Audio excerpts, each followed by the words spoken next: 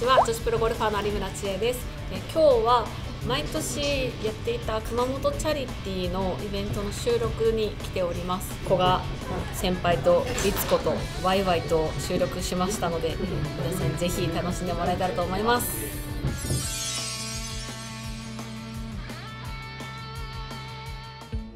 開発の今回オンラインでの開催ということになるので初めての試み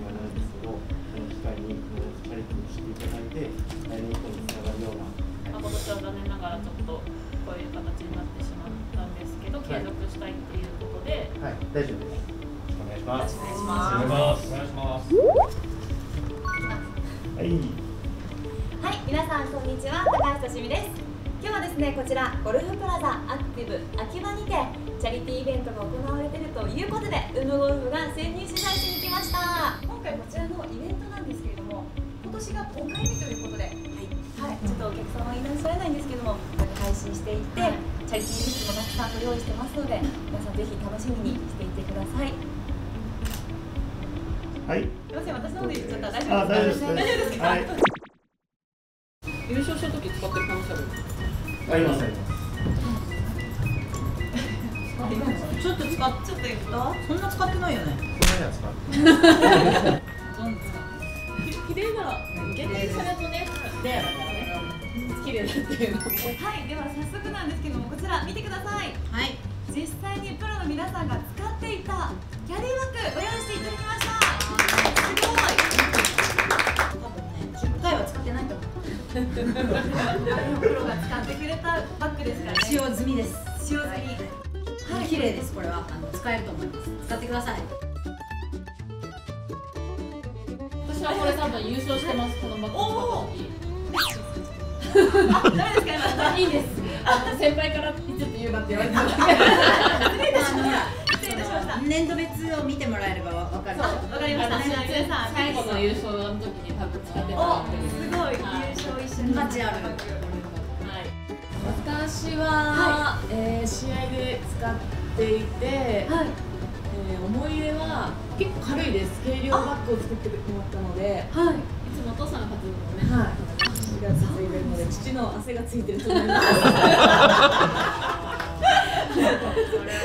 ちょっとちょっと？父の。まあさ絶対お父さんも好きだから熊本空港カントリークラブをラウンドしてる時もこれ実際に大会が行われてるとこですよねって言われたらあーそうですねちゅうちゃんよろしく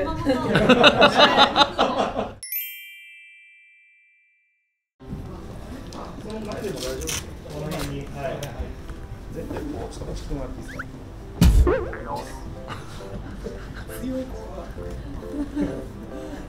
やっぱそれ。あ、これダメダメダメ。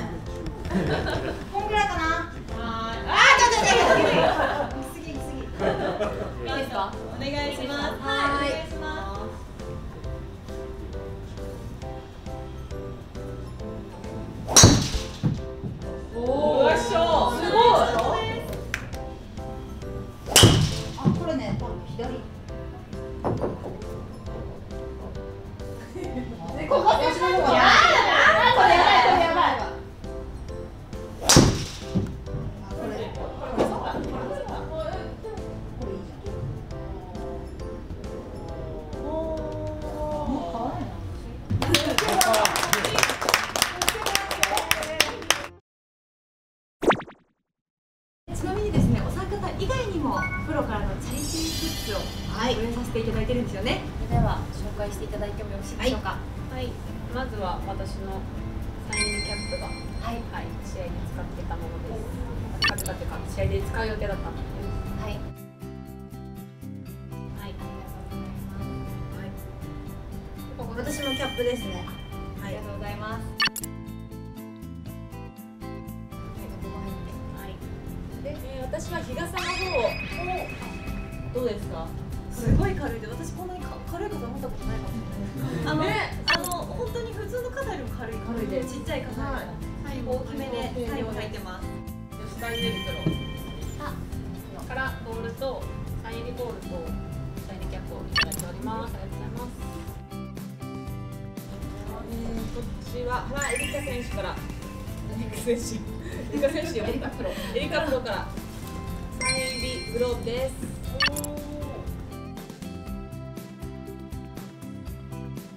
かそうい。うことおー、ゆうこゆうこちゃん。飛ぶかなこれ。そうちゃん、これは二枚入ってる。二枚入ってましたね。なんかこれ多分使ってるよしかも。一枚は使ってる。おー新品と使ってるやつです。おーい。これをパーカーが小祝さくらプロからあありがとうございます。おススポンサーさんスポンサーさん。ついてますおすごい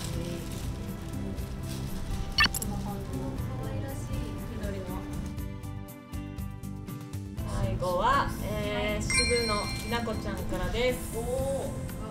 使用済みではありまません。せん。これと新品のサイン新品のサイングローブです。はい。あサインが入ってますおお。いいですね。よれよれ。え多分全米でアメリカに行ったのかなゴルフバッグには入ってたと思います。はい一緒に試した。これもおそらく入ってました。はいこれは。入ってました。このなんか意味不明な四番って何でしょうね。ボールの番号だとあいや一番です。なんでしょうね。あこれはねもうね番号のところにこの黒い点も、あの売ってあるから使う予定だったものでしたね。これもしかも全部にサイン書いてあるそう。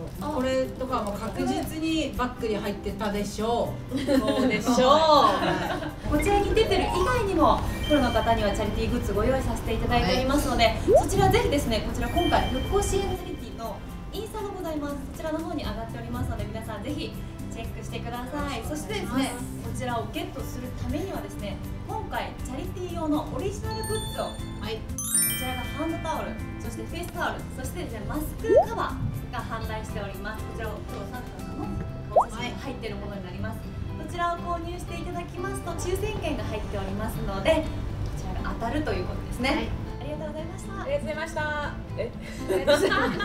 ありがとうございました。はい、ありがとうございます。ギリギリ危なかった。